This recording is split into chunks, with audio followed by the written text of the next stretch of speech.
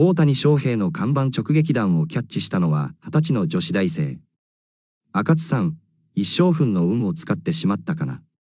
カーネクスト 2023WBC1 次ラウンド東京プール。